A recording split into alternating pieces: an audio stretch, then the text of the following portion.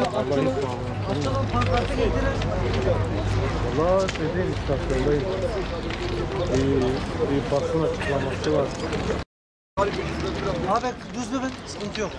Abi o garın da bir farkına ki açılabilirsiniz. Sağdan sola. Abi paş garı var mı efendim?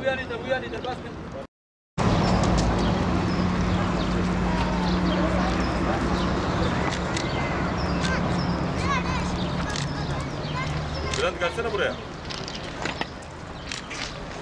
Tamam abi. Nusaybin Demir yolumuz e, yaklaşık 5 yıldır 6 ve 7 Ekim Kobani olaylardan beri kapalıdır. Nusaybin ilçemizde fabrika yok. Tek geçim kaynağımız demir yolu ve sınır kapısıdır. Hem sınır kapımızın 5 yıldır hem e, demir yolunun kapalı olması ile ilçe esnafımız olumsuz yönde etkilenmektedir. Nusaybin halkı olarak hem devletimizden hem de hükümetimizden acilen tren seferlerinin başlatılmasını istiyoruz. Nusaybin'de artık huzur var. Güvenlik sorunu kesinlikle yoktur.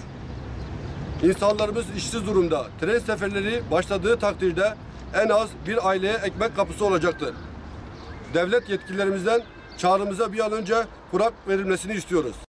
Nusaybin sivil toplum örgütleri olarak e, devlet büyüklerimizden e, acil ricamızdır.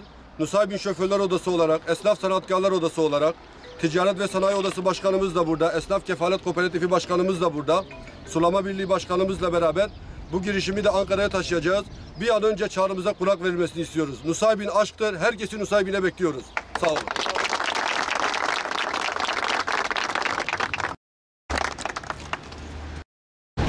Demiryolu 5 yıl önce ortalama 40-50 vagon Nusaybin'e gelmekteydi. Bu Nusaybin'den aktarma olarak Irak'a, Orta Doğu'ya gitmekteydi. Şimdi baktığımızda nakliyat firmalarımızın Nusaybin'de cazibe merkezi haline getirmek zorundayız. Eğer Nusaybin demiryolu açılmasa nakliyat firmalarımızın çoğu iflas durumundadır. Yatırımcıları huzurlu ve güvenli Nusaybin'e bekliyoruz.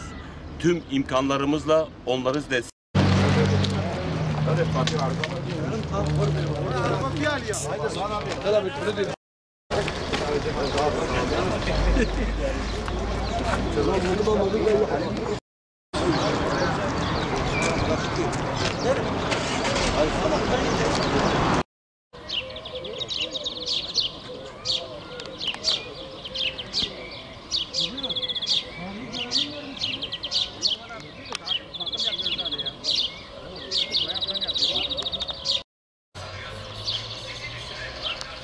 Vamos.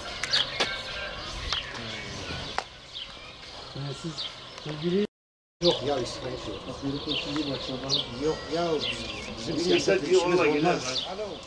Emekçi insanlarız.